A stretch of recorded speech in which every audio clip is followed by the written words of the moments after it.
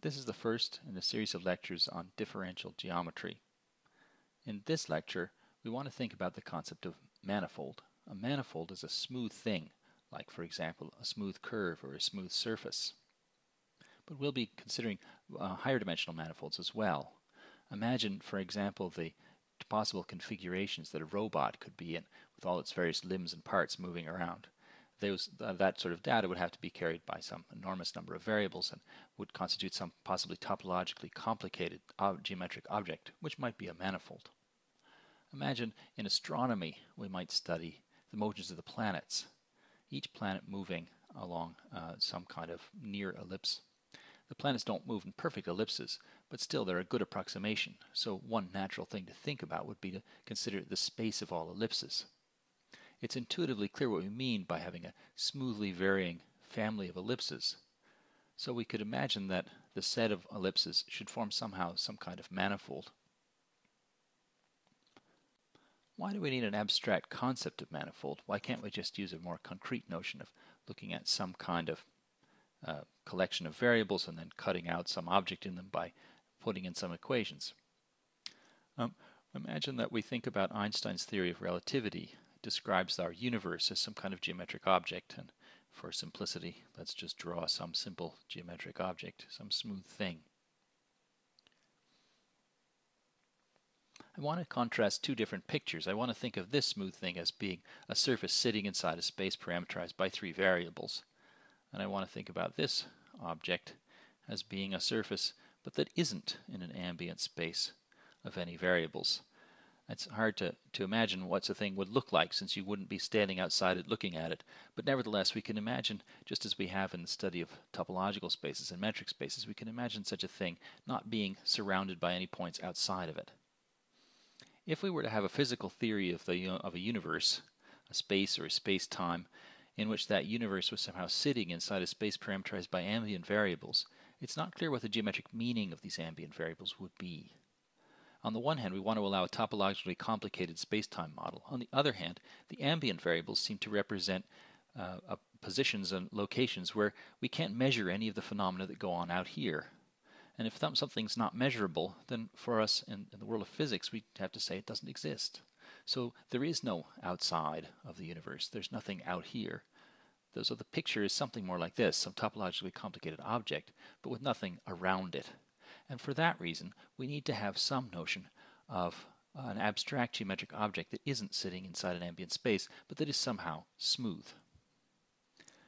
We can already see that there's a problem with the notion of smoothness. We have topological spaces and we have metric spaces. Our topological spaces have continuity and our metric spaces have distance, but neither of them have a natural notion of smoothness. We really want to capture the idea of being smooth because we want to be able to use calculus and calculus requires that things have linear approximations in the small, in other words, that they be smooth. It isn't just an abstract exercise to try and construct a notion of smoothness, because in fact, uh, manifolds can often be, uh, be arise implicitly. For instance, the solutions of a system of differential equations might form a manifold. And we might be able to prove this, and we might be able to actually make use of differential geometry to study the space of solutions of some differential equations, even though we can't actually solve the equations at all. We might not know any solutions. Another justification for the idea of having an abstract manifold is that even if we had a situation like this where our surface is given to us very concretely or some, some kind of smooth object is given to us in very concrete terms in terms of actual variables, if we found that it had some kind of symmetry, uh, we might try to quotient out by the symmetry to construct some kind of quotient object, which might look maybe like this, I don't know. Um, so we imagine that somehow we quotient out by a symmetry to produce a kind of quotient object. But the ambient variables may not go along for the, for the ride in this process. In other words, we, when we quotient out the ambient variables, it may not be possible to even define the symmetry on them. Or if it is possible, it may be that when we quotient, we don't produce a space of ambient variables for this object. So we want to be able to work abstractly because we want to be able to have the power to carry out simple operations like quotienting by symmetries or other kinds of simple constructions that we're familiar with from other areas of mathematics. But if we carry out those constructions and we have to represent this object as being the solution of some equations and some variables, when we quotient, it's not obvious how to write the quotient object as a solution of equations in variables. There isn't going to be a natural way to do that. And so we want to be able to ignore that and be able to work without any ambient variables with an abstract geometric object that doesn't live inside an ambient space. No matter how abstract our manifolds are going to be, we're going to try and make them, at least in the small, be very concrete geometric objects. They're going to look locally like Euclidean space. So we'll have to make them look somehow like Euclidean space how will we do that? Um, we'll define uh, operations that identify them with Euclidean space locally. So if we pick a set M, it could be any set of any objects whatsoever, um, a chart, a chart on M um, is a uh, is a bijection um, phi takes u to write it as phi of u, where u is a subset of the points of M, and phi of u is going to be a subset of Euclidean space. So that'll identify a piece of, somehow, of this abstract M with a piece of Euclidean space. The term chart is chosen deliberately because we want to imagine that we're thinking about geography. Our standard example is really going to be uh, the, the Earth's surface and we'll think about that numerous times. So M is somehow the Earth's surface. We don't draw all of it on a single piece of paper, a single map, a single chart. What we do is take some chunk of it, which we call U, and we draw that on a flat piece of paper. Of course, the the operation that does that is our phi, our chart, and um, and uh, the, the the idea is that this is going to be, say, Mercator projection of some chunk of the Earth's surface onto a flat piece of paper. And that's what we think of when we think of a chart. It's traditional notation in the subject to always write the chart as u comma phi, a pair u phi. Already in geographical problems, we, we see that there's a, a, tricky issue. Which projection are we going to use? Which description? Which chart? So um, it's possible that some map maker draws a map of some chunk of the Earth's surface um, using some projection. So Mercator projection. Maybe you draw your map with Mercator projection. I draw a different piece of the Earth, maybe overlapping though, with a different uh, projection, say Peters projection, and uh, some C, and that maps to some other flat piece of paper. So um, then there's a region here that that's but we've both drawn not all of the Earth, not not the whole thing, but there's a chunk here that of that gets mapped over to this by phi, and gets mapped over to here by, by c. And that overlapping region, but where the two chunks of, of m overlap, so this would be some u and this would be some w, and so you have a chart u phi and w c. Two different ways of drawing the same thing. What's essential in order to do map making or in order to make sense out of manifolds is the requirement that these be not too wildly behaved with regard to one another. Specifically, we'll say that um, charts uh, U phi, say your chart, and uh, W C are uh, so said to be compatible if um, the operation, the transition map, which means um, going backwards along phi and forward along c, is uh, c infinity smooth. Now let's go back over what that says. What's the transition map? It means go backwards by phi and forwards by c. So we go from your piece of paper on which you've drawn a picture of, of some part of the Earth's surface we go back to the actual Earth. Phi inverse goes back to the Earth. Then we go forward along this map C, and that draws us on, puts us on another piece of paper. We imagine this piece of paper sits in the plane, so in some variables, x and y or something like that. And this one also sits in the plane, given by some variables, say x and y or something like that. And so this uh, chunk of the of the picture of your little map that you've drawn gets mapped by phi inverse to the Earth's surface, and then by c to this piece of paper here. In other words, a piece of the plane goes and gets mapped to a piece of the plane. And so what we'll require is that it's C infinity smooth as a map of open sets. Open sets of uh, Euclidean space Rn. Euclidean space Rn. Okay, so um, so what, what do I mean by C infinity smooth? That's maybe the the other mystery. Um, C infinity, of course, when you have a function of, of, some variables, it means you can differentiate all you like in any combination of the variables, any finite number of times uh, in any any of the variables uh, in any order. Um, and uh, and this these are this is a function of variables because it's actually um, it's a function of variables because it goes from the plane to the plane. And this is the plane is parameterized by ordinary everyday variables.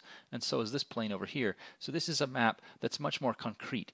The, uh, the set uh, that we're going to call M here, which will eventually be some sort of manifold, um, the, this abstract set is an abstract object, but these are concrete objects. They're actual open sets in actual variables, and we're going to assume that the overlaps between the sets have to turn out to be open in each of them, and so that overlaps open and that overlaps open, and so we have this open set here, this dark colored open set here, where we can apply phi inverse C and end up here you might wonder what happens if the two don't overlap at all. If U and W don't overlap, then we'll just assume that that, that allows us to be compatible anyway. So it's compatible if the transition is map is smooth where it's defined. And if it's not defined anywhere, that's fine too. Now, when we uh, have maps, when we actually make maps of the real world, um, we bind them together into books. Um, we don't just have one map of one piece of the Earth's surface. We map the whole thing um, with a whole book full of maps. So um, an atlas is a collection of of charts on some set, say M, all compatible. They're all compatible with one another. Um, and with their domains covering M. So we cover the whole thing in, in, in a bunch of charts. So we picture how the Earth's surface, and if you went out to to uh, to a shop and bought an atlas, you'd be buying a collection of maps, um, of different maps of the Earth's surface, um, drawn on pieces of paper, and it'd be a whole book full of them, right? And they'd cover the entire surface of the Earth. Let's look at a simple example just of a couple of charts, not of a whole atlas of charts, but just a simple example where we have two different charts and see if we can compute the transition map. But I want it to be an example that's fairly familiar, so it's just going to be the example of polar coordinates on the plane. On M, in this case, is going to be R2, the plane. As you know, there's more than one way to pick polar coordinates. Um, after all, the angle in polar coordinates is only defined up to a 2 pi multiple. So if you want to have a continuously varying angle, you've got to slice somewhere. So one way to do it would be to slice um, the plane over here and let's let uh, u be the set of all points x and y in the plane uh, which uh, well such that either um, y is not zero or if y is zero then we're on this axis and we don't want x to be positive so x is less than zero.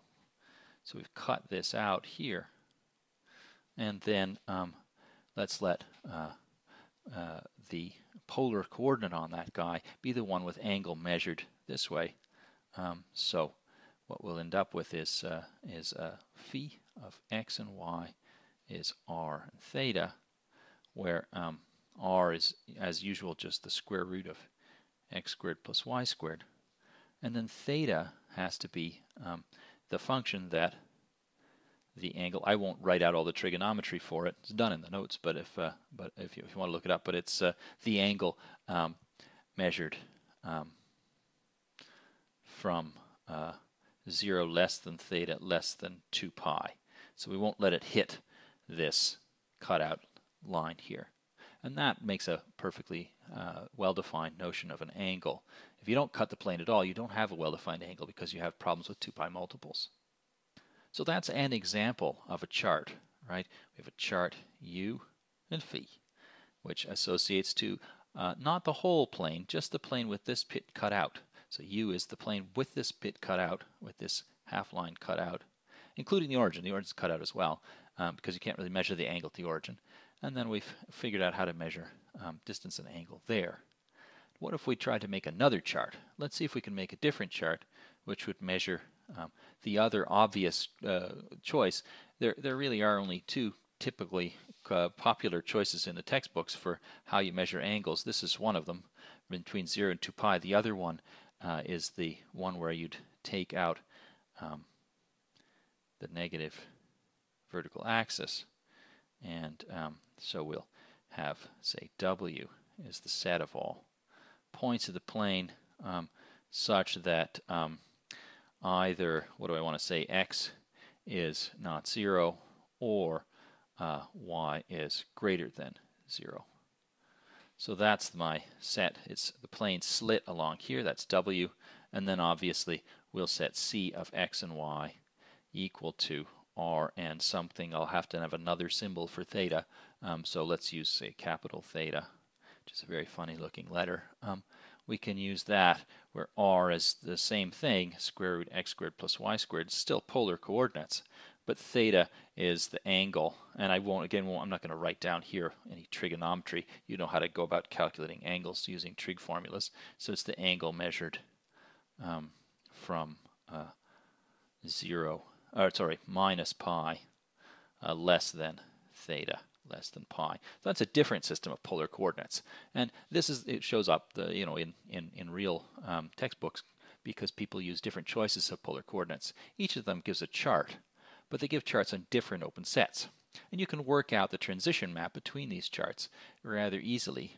The transition map, it's uh, already just complicated just to figure out where it's where it's defined, but the transition map is in fact expressible by an explicit formula that this theta is this theta if you're on the interval where it's between 0 and pi, and then it's this th little theta minus 2 pi on the other interval, pi less than theta less than 2 pi, and th those are the only two uh, intervals on which which lie in both u and w. The transition map's only defined for points that lie in the um, overlap, and that's these. And so we get a transition map, which is, well, r equals r, and the, the, the, the big theta is the little theta, uh, or the little theta minus 2 pi, depending on where you are. So that's an explicit example of two charts on a set and working out the transition map between them. But that's not an atlas because we didn't make a chart that covers the origin. We could have just used the standard xy coordinates as covering the origin as well. In that case, it's a kind of stupid example because after all, the plane m equals r2 has the obvious choice of chart, which is just the identity map from r2 to r2. Uh, just take x to x and y to y, and then you get a, a chart globally covering the whole thing. So polar coordinates have the disadvantage; they don't cover the whole the whole thing, but they do have the um, the, the advantage that they give us a, a very intuitive, simple example of calculating out a transition map. Um, but let's try and see if we can come up with a more interesting example, topologically interesting manifold that's useful and important, and where in fact we can produce a, a complete atlas of transition maps. So our next example, um, which is I think one one of the the uh, more important ones in the subject. Um, let's do an example where M is, the, still an, is going to be an abstract set. It's the set of lines in the plane. The plane being, of course, R2. So um, we want to consider all possible lines. Now, not all lines can be written in the standard format y equals mx plus b, but most of them can. So I'm going to let u be the set of lines of the form y equals mx plus b, ones for which have such a formula, and we know that that formula is unique if it exists. And then w is going to be the set of lines of the form x equals ny plus c. So what lines are these u? These are the ones that are not vertical. So in other words, u um, is the set of not vertical lines, all the lines that aren't vertical lines. and W is the set of not horizontal lines.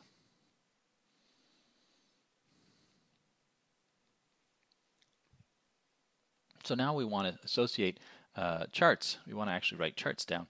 And for the first chart, u phi, it's just going to be given by the map phi of the line. So it's an abstract object, this line. It's going to take the line y equals mx plus b and simply store its slope and its intercept. And those are two numbers that we can associate to any abstract line of that form. And then, of course, c of the line of the form x is ny plus c is going to be the pair nc. So where's the transition map defined? The transition map phi inverse compose c, and of course there's another transition map which is c inverse compose phi using the other direction. Um, this transition map, it's going to have to take um, the m and the b, and it's going to have to compute out the n and the c which means it's going to have to take those m's and b's and uh, they're going to have to be somehow um, the ones for which the image of this guy lies inside W. So these is going to have to be an M and a B with the property that it, that it, it gives that this is the slope and intercept of a line that's not horizontal. So M is not zero. Um, that's the, where the transition map is defined. It's defined in the pairs where M is not zero. And then it's going to take such a pair and give it an NC. And what is the formula for N and C? I, I won't uh, derive this, but you can just take the equation of the line, y equals mx plus b, and solve for x in terms of as a function of y, and get something in this form, and find that it's that n turns out to be 1 over m, and c turns out to be minus b over m. And so you can use elementary linear algebra to see what the transition map is between describing lines is as y equals mx plus b and describing lines as x equals ny plus c. Um, so that's the transition map. And it's an atlas because every line is either not vertical or not horizontal. No line can be both vertical and horizontal. And so, uh, so those cover the whole the whole manifold. So it's an abstract manifold, and it really is a topologically interesting manifold. It's not uh, topologically trivial. So this is a worthwhile example, a serious example of using this theory to construct an, a, a, manifold. And in this, this a certain sense, this is a manifold which is the set of solutions of some differential equation. So it's a very natural uh, thing to think about, and it's a very, very interesting, serious example. In the lecture notes, you'll find lots of other simple examples worked out in detail with their transition maps and their atlases and so on. In particular, we work out this example of the circle several different ways, and the uh, real uh, and complex projective lines and projective planes, um, and uh, also the n-dimensional complex projective spaces. Um, so uh, you can take a look and see if you want to find some more examples of, uh, of uh, constructions of atlases. We'll do a few more after after we talk a little bit more about uh, the nature of, of, of, atlas. So we want to think about um, when are atlases essentially the same? Because after all, if you went to the if you went to the store and bought uh, uh, you know an atlas in a sense of geography, you have the world. Um, that uh, is your our standard example of a manifold, and you could buy not just one map of the world, but a whole book full of them, um, and uh, with many, many, many pages of of maps in it and I could buy another one. Um, there's not just one for sale. There's a National Geographic Atlas of the World, there's a Times Atlas of the World, and so on. There are different atlases, which re really can be thought of essentially as atlases in the sense of, of, of what we've defined above. Um, but imagine if you could take this atlas and this atlas, rip the covers off, and just stack the pages on top of each other and put one big cover on the whole thing. That would be another atlas, and it would work just as well as either of them. So that's the sort of construction we want to use here. We want to say that um, two atlases are uh, equivalent if their union is an atlas.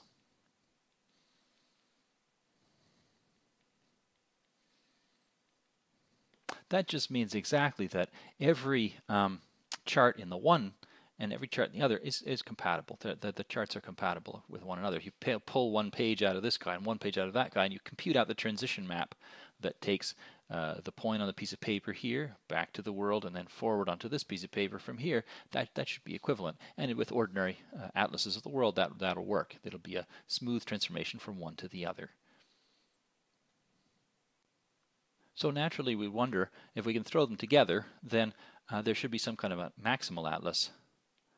A maximal atlas. So that you can't put anything else into it at all uh, is, uh, is called a smooth structure.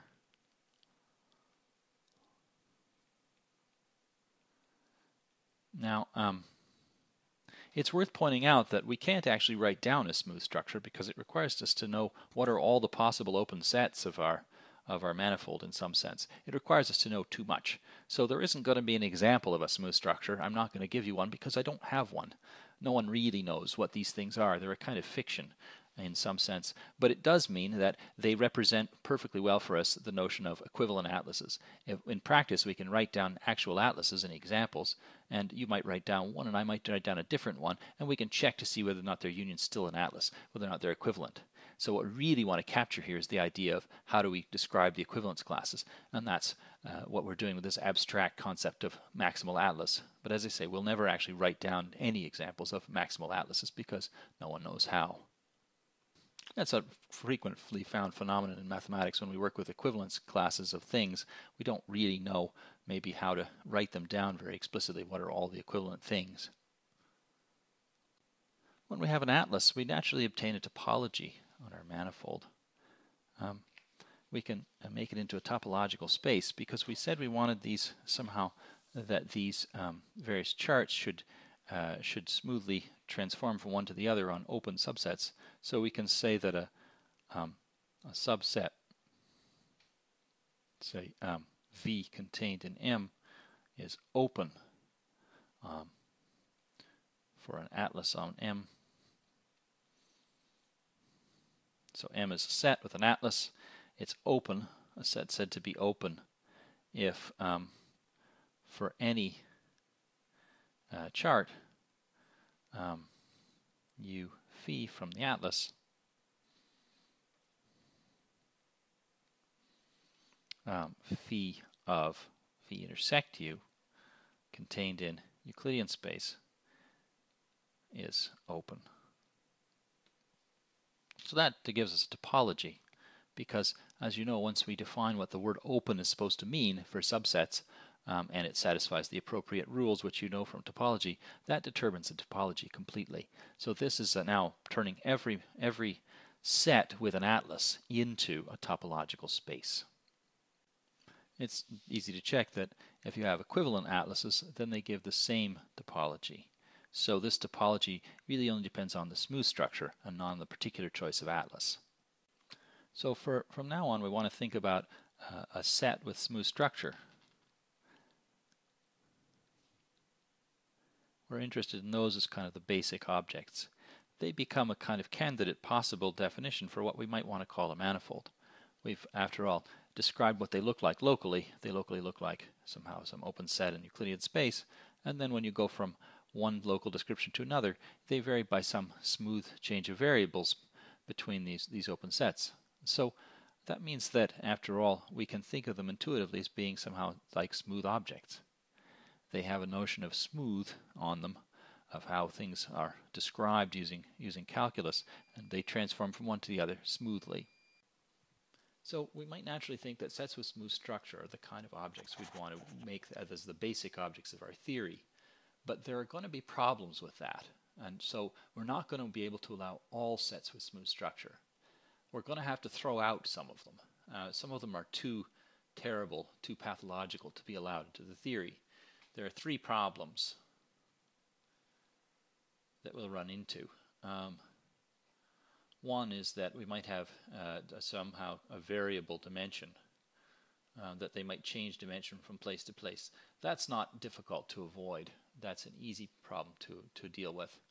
Um, we won't really have to suffer much from that. The second problem is the really big one. They might be not Hausdorff. They might be not. This is the the, the worst problem. And this problem will persist because it'll be, turn out to be sometimes difficult to tell if something is going to be Hausdorff in this topology. I'll have to explain uh, again what, uh, remind you of what, the, what the word Hausdorff means, um, but it is some kind of bad behavior the topological space can have, and it's hard to avoid. Um, the third one is a very mild problem about having, we might say, too many open sets, uh, which turns out to be really essentially the same problem as having uh, too many uh, topological components.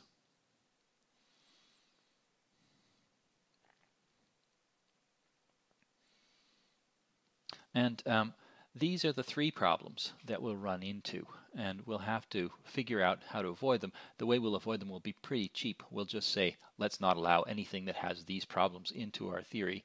Um, so we'll define a manifold to be a set with smooth structure which doesn't suffer from any of these problems. It's a cheap way to deal with our problems to just declare that we won't don't allow those sorts of objects.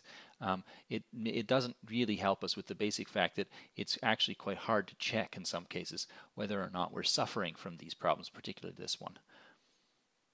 So we'll have to try and find some kind of tricks to check to make sure that objects don't uh, don't have any of these problems. The first problem is very easy to describe in an example. Um, we can just imagine a very simple case where we let we take the plane and in it we draw some one-dimensional object like for example a straight line and then we also draw some disjoint from that something that's two-dimensional like for example a disk an open disk and let M be the union of the line and the disk.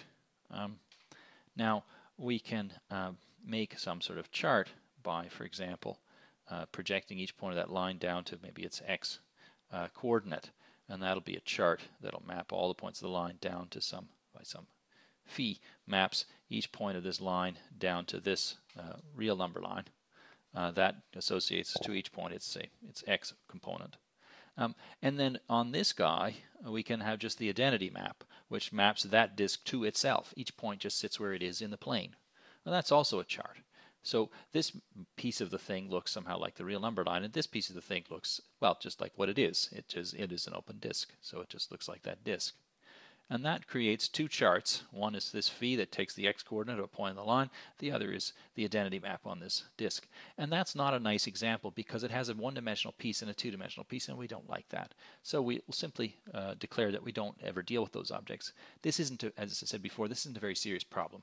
These things don't naturally show up in, in any of the, the constructions that we'll be carrying out.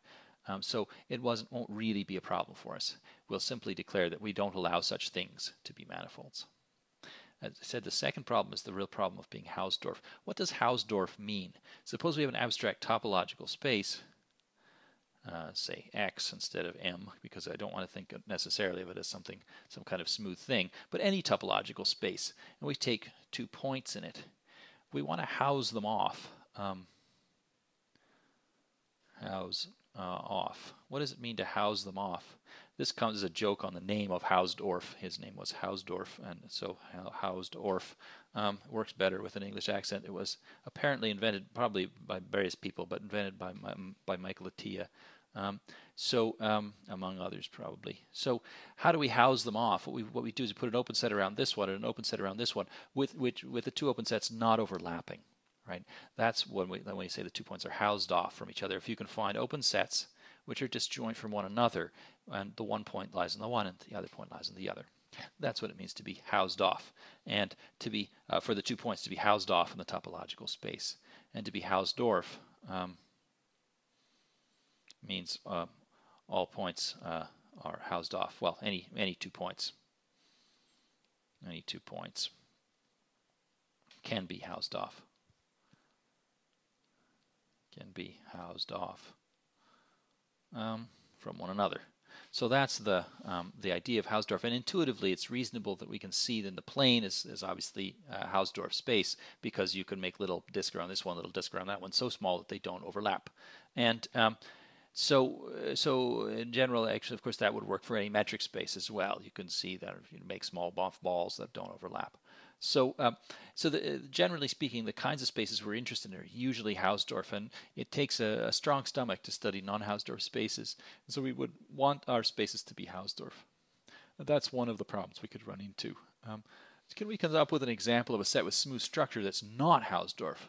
It's hard because, of course, as I said, all the metric spaces are Hausdorff, so the kind of spaces we're familiar with constructing tend to be Hausdorff. Um, let's see if we can come up with an example of a set with smooth structure, which is not Hausdorff. This is the pretty much the standard example. We'll take the real number line, and here's the origin of the real number line, but we'll make it into a double point. We'll double it up.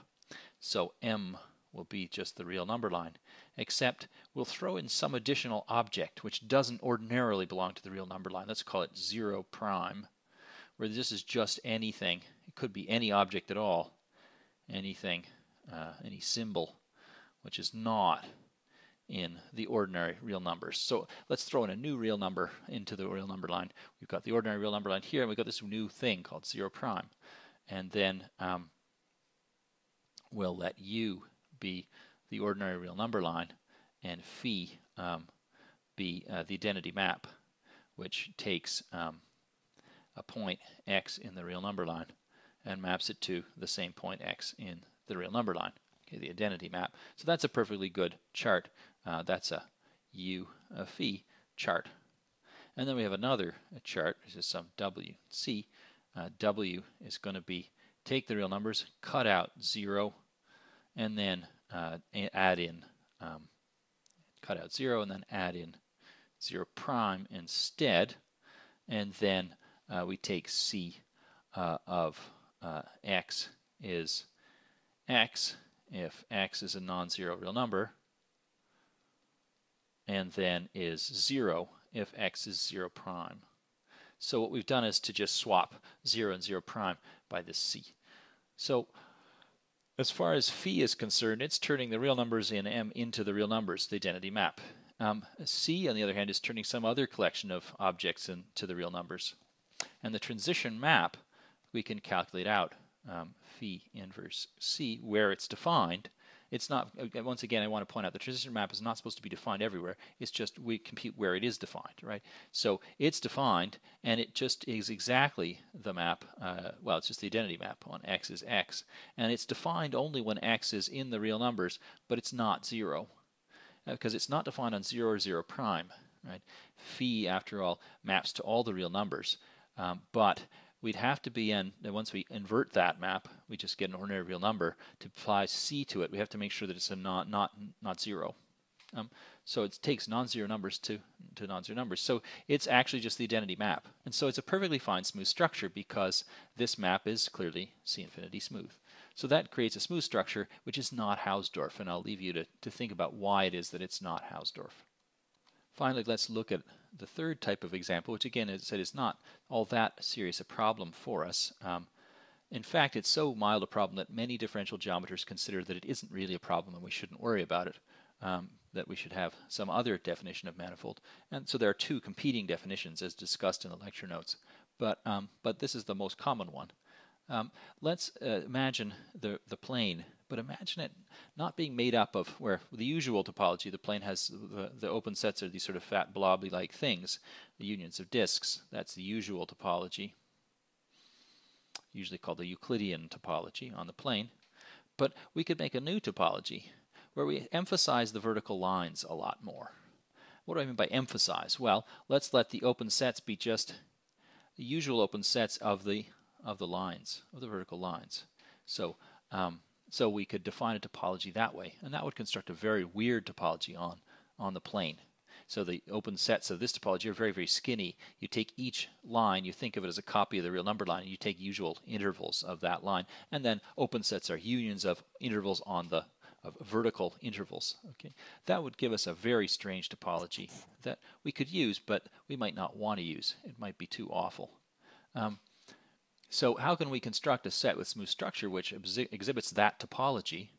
We uh, take uh, M to be uh, the plane, and then and then for each uh, for each real number x, let's say x naught real number, uh, we define um, uh, some chart phi x naught, which is just the um, the identity map phi x naught of each point x and y, uh, well, x naught y is y, um, uh, defined on uh, the line uh, x equals x naught. Okay, so let's define that vertical line. So what we do, in other words, we make a chart by saying on each vertical line, I'm just going to take the identity map uh, to the real numbers in the y variable. Okay, so I'm going to use that as my parameterization of that real line. And you can check those are those are, are, are charts. They're they're all one-dimensional though. They treat it as if it's made out of one-dimensional vertical lines. And so we end up with a manifold which has this weird topology on it. Well, not manifold. We end up with a set with smooth structure, which has this weird topology on it.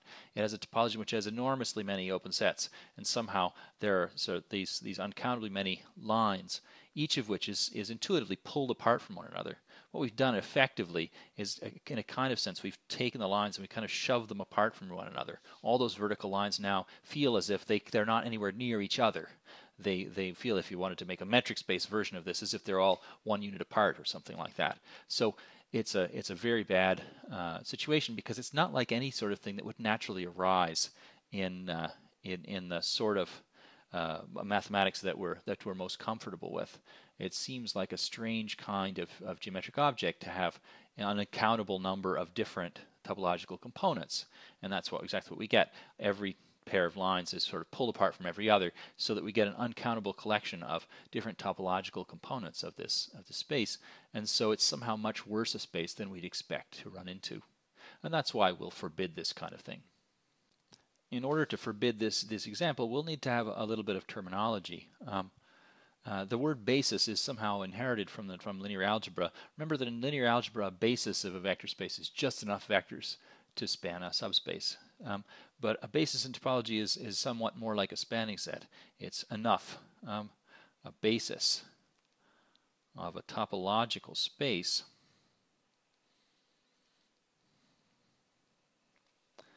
is um, is a collection of open sets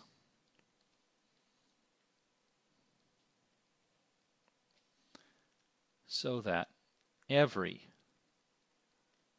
open set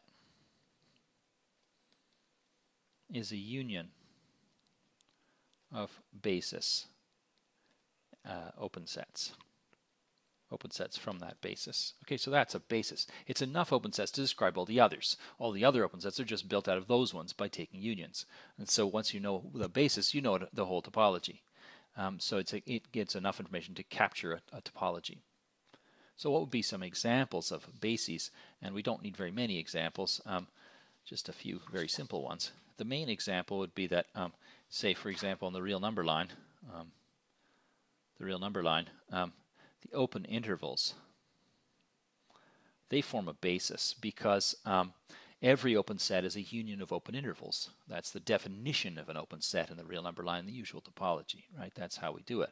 Um, and more generally, uh, well, let's say in the plane also, you could use um, you could use open uh, disks uh, in the plane, and they form the, the usual topology because the topology of the plane is the topology in which sets are open just when they're expressed somehow as unions of open disks. Um, and uh, that also works in, of course, those two are examples of metric spaces. And in any metric space, the usual topology is given by taking the open sets to be unions of open balls.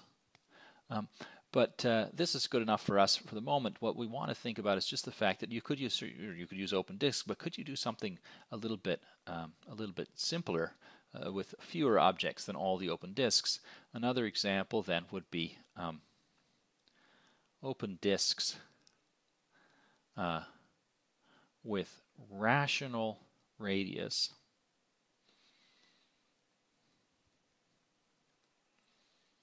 centered at rational coordinate points. Points with rational coordinates. And it's not terribly difficult to prove that those are enough to describe the topology because you can approximate the other disks with those disks, roughly speaking. So I won't give the precise argument. Um, it is eh, dealt with in detail in the, in the notes, but it's uh, it's pretty clear that we can get pretty close to any disk we like with these ones, and then just by taking unions of them, we can make them get, uh, we can make any open set construct out of these guys. So it's not too hard to, to, to see that this works, but also what's striking here is that this is a countable basis. It's not just a basis, it's a countable basis. That is to say, countable meaning in the sense that you could write these into sequence. You know that the rational numbers can be put in a sequence, and then the points with rational coordinates can also be put into a sequence. Right? So this is, of course, in the plane. So this is a countable basis um, for the topology of the plane. And, and more generally, we could take um, for any, um, for say, Euclidean space of any dimension, Rn, we could use open balls with rational radius centered at rational coordinate points, and we would get a countable basis. Um, so uh, that's an inherited property, though. If I have a subset of a topological space, if I take some subset in topological space, and if X has a countable uh, basis of its topology, that then S does too.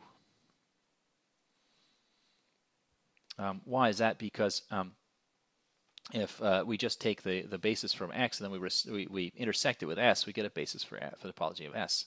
So that means that, in fact, uh, this is an inherited property and it holds on any Euclidean space of any dimension. So it's going to hold for any of the things we can draw. It's going to hold for any kind of geometric thing in any number of dimensions that we can reasonably hope to get some kind of picture of. And so, uh, so it's reasonable to impose this on, uh, on manifolds.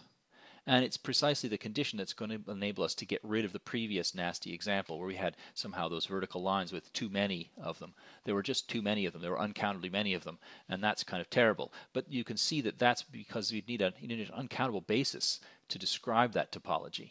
And so that's how we'll throw out that topology. So now we're ready to do the actual throwing out. We've said that sets with smooth structure very nearly could have been the right kind of objects to play with but we decided we didn't like them. So we're going to instead throw them out, and we're going to work with some other kind of objects, which are um, which are the ones which behave better. Better. We're going to take the sets with smooth structure that don't satisfy those three rules, and we're going to get rid of them. So at this point, we can therefore say that there's certain topological spaces that have the properties that we need for manifolds. Um, and let's try and give that a name. Um, so which kind of topological spaces would we allow uh, in a theory of manifolds for an integer, let's say n greater than or equal to 0, an n-dimensional dimensional um, topological manifold. So we haven't quite got to what's a manifold yet, but we're now we're getting very close because we're defining what topological spaces we're going to allow in the theory of manifolds, and then we're going to try to get the smoothness going. So for, a, um, for an integer n greater than or equal to 0, an n-dimensional topological manifold is a Hausdorff Hausdorff um, topological space This is a definition, right? This is defining what topological manifold means. Hausdorff topological space, locally uh, homeomorphic to Rn. So locally just looks like Rn. It's Hausdorff and uh, with a countable. Oops, countable basis of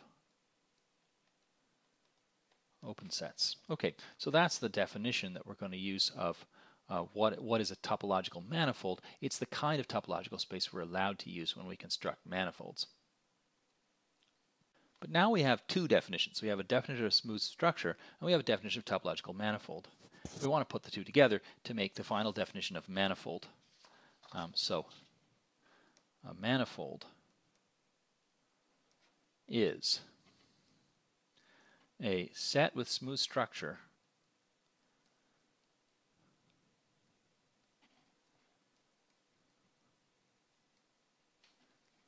So that in the topology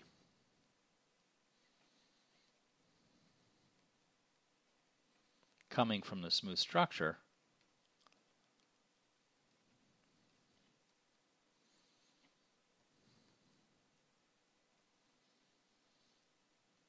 it um, is a topological manifold. And for that we need to check those three properties. We need to check that it's Hausdorff and that um, it has all the sets all the same all the uh, charts mapping to the same dimensional Euclidean space and also that it has a countable basis of open sets so we have to check those properties. The only really trivial example is of course Euclidean space itself um, Rn uh, is a source um, is a manifold um, it's the trivial example where we let the chart be U is all of the manifold, all of Rn, and then phi is the identity map. It's not a very exciting example, but we had to start somewhere. If uh, uh, we had two manifolds, P and Q are manifolds, then of course P cross Q is a manifold, and we can just take uh, products of, of uh, charts. We take a chart on P and a chart on Q, put them together to make a chart on P cross Q, and we can check all the necessary properties, and of course products of Hausdorff or Hausdorff and so on. So it's very easy to see that that works out. That's a manifold.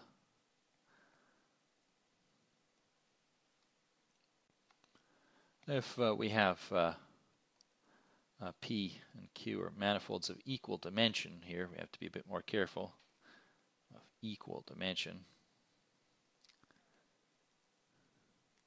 Um, and um, then, then we can try and construct a manifold which is their, their disjoint union. Um, this symbol is used for disjoint union. That means we put a copy of P together with a copy of Q, but we make certain the copies don't overlap. There's nothing in common. So in principle, for example, we could th do things like writing P disjoint copy P. That would mean two copies of P, right? It's the very same set P of points, but we somehow make copies of it. We don't. They aren't the original P. That's one another copy of P. That's a, that's another copy of P. So the definition is simply that P union Q is the set of points 0P such that P is in P, union with the set of 1Q, such that Q is in Q, for example. Now that gives you one way. It's not the only way you could do it, but and we make certain that the that whatever you put in the first part of the first part of this ordered pair is different from whatever goes in the first part of this ordered pair, so that those things are just definitely different objects. Okay, such that so that makes it possible to construct two copies of the same thing. P disjoint union P would be two copies of P. So if we take you know the disk for example, then we get uh, two disks, um, and uh, so we can construct a P disjoint copy P, even though it's the same P. Um, and of course, then obviously the disjoint union is a manifold, and you just take the charts on this guy, the charts on that guy, and can put them all together and make charts in the obvious way. So I don't want to go into too much detail on it. It's clear that that's also a manifold um, of that of that same dimension. the main idea here is simply that manifolds don't have to be connected. The the union of the disjoint union of two different disks is a manifold because each of them is individually a manifold and the, being a manifold is somehow local property. So it's really not about um, it's not it's not a sophisticated idea, eh, but I just want to make sure that you, you don't get confused and think that manifolds are somehow supposed to be connected. They don't have to be connected. They can have many different pieces. At this point, we still don't have the, the, the most obvious examples, things like the surfaces that we're used to dealing with. So how can we make the sphere into a manifold? Um, we have to somehow use the fact that the sphere sits inside some ambient three-dimensional space, which we've said before we didn't really want to do, but let's uh, let's use that as a kind of crutch to be able to construct new manifolds out of old.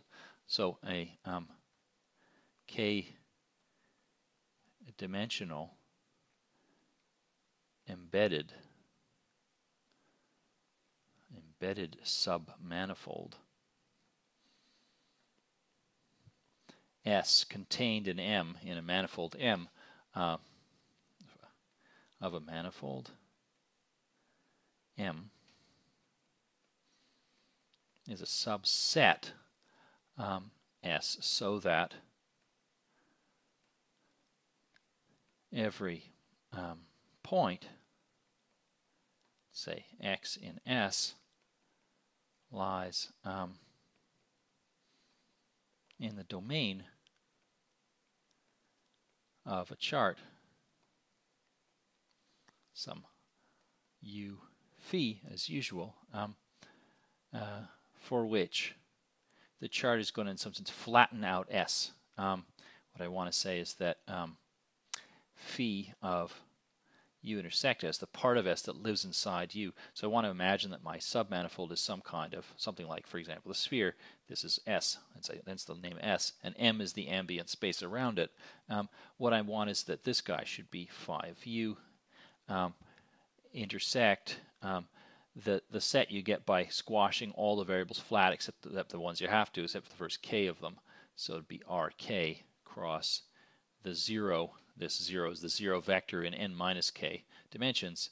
Um, so that guy, where this supposes to be is supposed to be contained in Rn, right? Because n m is some n-dimensional manifold, let's say, and then um, what we've what we've asked for is that there should be special charts. There should be some kind of charts you can pick on M uh, near the points of S. It should be possible to somehow flatten S out. What this says is that the piece of S that lives inside U gets mapped to having all the variables zero on it except the first k of them. So let's see an example um, of this kind of, of this kind of thing. And I should point out that that makes it obvious then that S is a manifold, right? S is a manifold because you use these charts and then they turn it into k variables being um, uh, being uh, mapped to, and then the other variables just being zero. So you use those k variables, and that will give you your chart on S. Okay, so I won't uh, belabor this with uh, with proofs. Let's just look at examples. Um, so our example is the unit sphere. So S is the unit sphere. M is three-dimensional Euclidean space around the unit sphere, and um, what we can do is to take, let's say U is uh, the set of all points in three-dimensional space, x, y, z. Z's positive, so this is the points in three-dimensional space that are positive, top half of three-dimensional space. And then phi is going to be the thing that, well, that's going to flatten out S. I want to flatten out the sphere. So what I want to do is to take, I'm only going to do flatten the top half. I don't have to flatten the whole thing. What I want to do is to somehow make it make it turn, well, make it into a flat disk.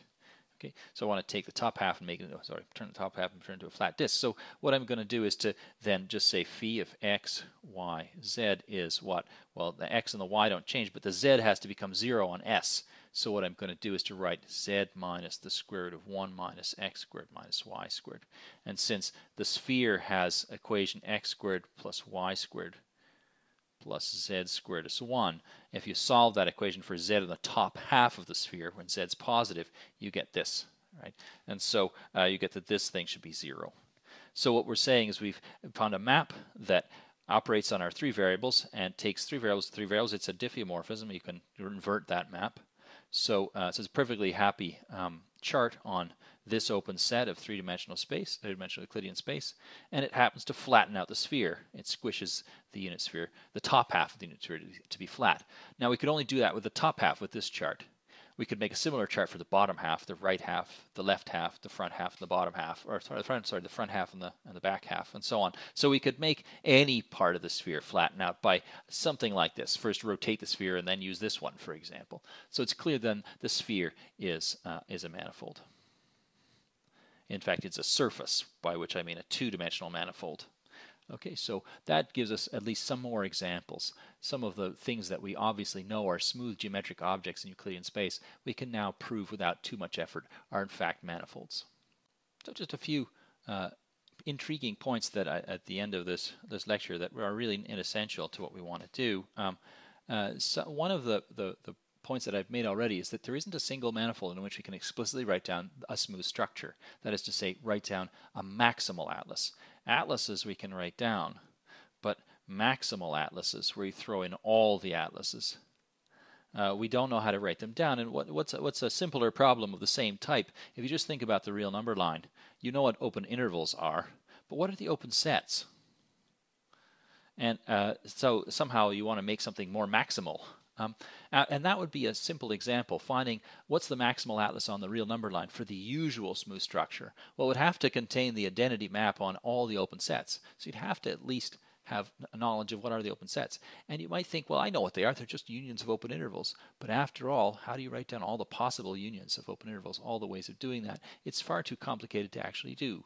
So we don't actually know how to write down uh, a, a, maximal atlas because of the simpler problem that we also don't know how to solve, how to write down just what are the open sets in Euclidean space.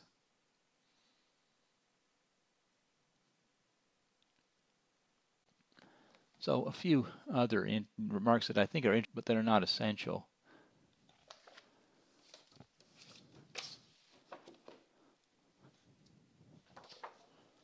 Among the examples that are given in the in the lecture notes is the real projective plane, which turns out not to be a surface that you can write in three-dimensional Euclidean space, but does turn out to be a surface. And we'll look at some other examples of that sort of behavior.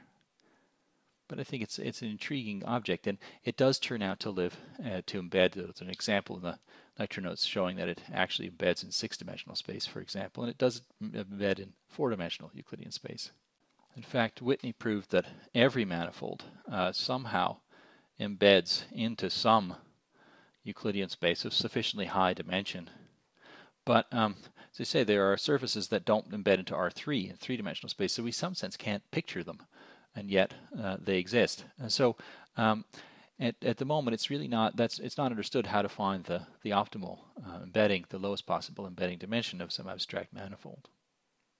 In the process of inventing uh, a, a, definition for manifolds, it was really Whitney who came up with this stuff, and there seemed to be a natural uh, tendency between two to go in two different directions. We had a notion of topological manifold and a notion of smooth structure or set with smooth structure, and we needed to put the two together in some way. You might ask, does every topological manifold have a smooth structure? And it turns out that in dimensions um, four or more, uh, there are, in fact, topological manifolds with no smooth structure, which is sort of hard to imagine because locally they look like Euclidean space. So they're all patched together bits of Euclidean space in some way, but somehow, even though they're Hausdorff, even though they, they have all these nice properties, they're somehow not nice enough to actually be smoothable. Smooth structures are therefore some, somewhat mysterious. It's not clear what are, what are they really.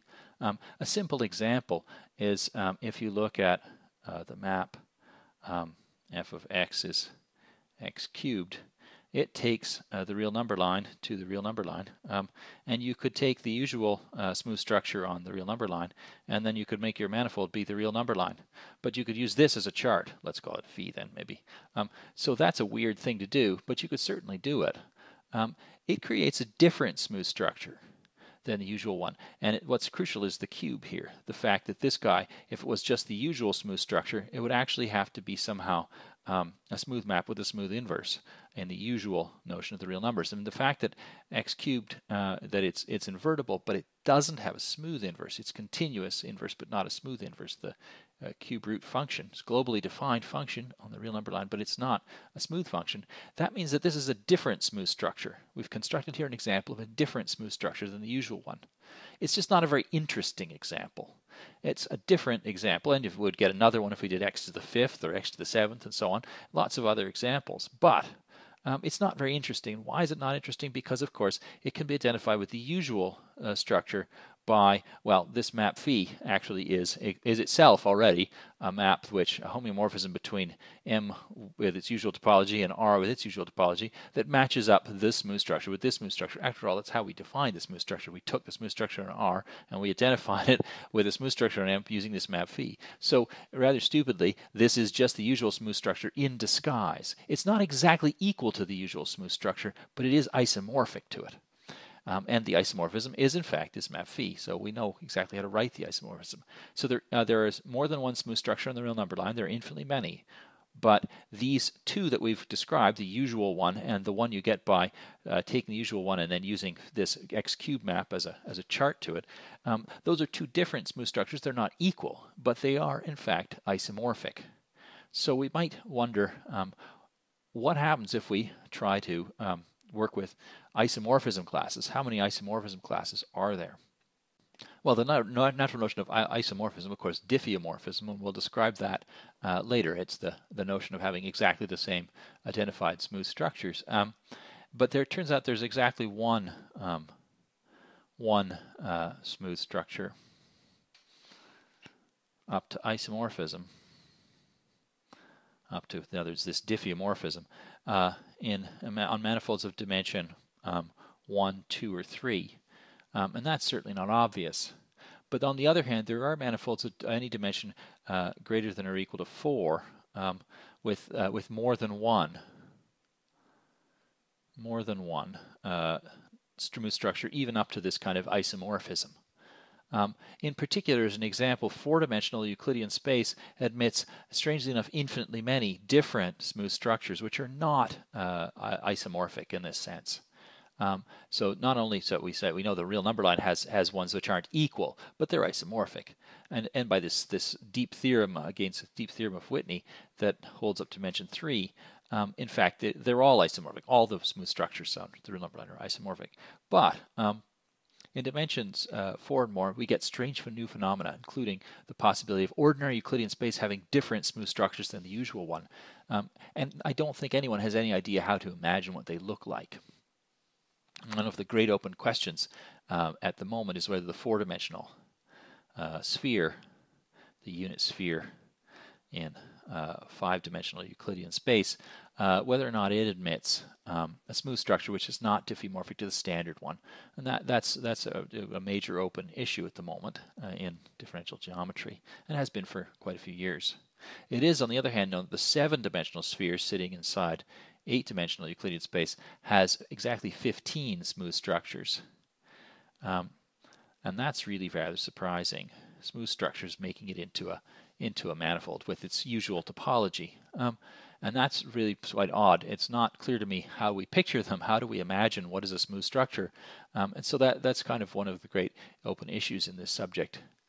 Um, so uh, next time we'll talk about um, about uh, how to uh, make sense out of the notion of of, of having uh, smooth maps between manifolds because once you have one manifold and you have another manifold you want to start mapping them to each other and then it'll be possible to use that to make much more sophisticated constructions of new examples of manifolds.